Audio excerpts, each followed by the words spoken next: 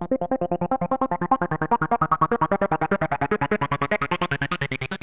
Zero Four is basically a psychological thriller.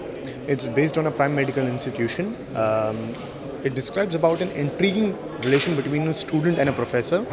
Uh, I play the student as a protagonist. Uh, my character name is Abhimanyu, and the professor is played by Nishi Kamath sir.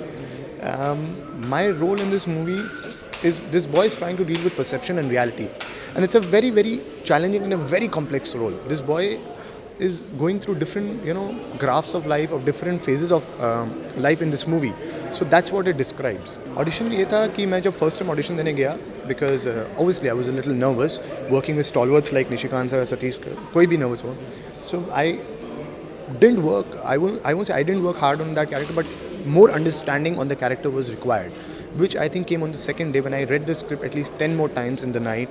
And uh, I understood my character more.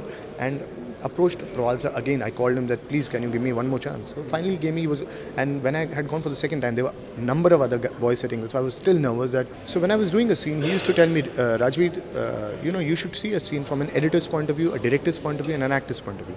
You know he was guiding me there.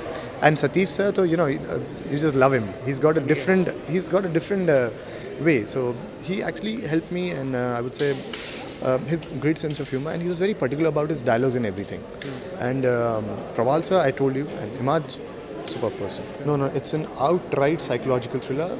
It's nowhere connected to horror. Nowhere connected to horror.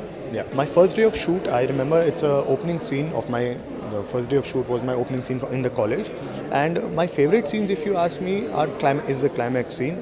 So if you want to see my favorite scene, please go watch the movie and tell me how it is.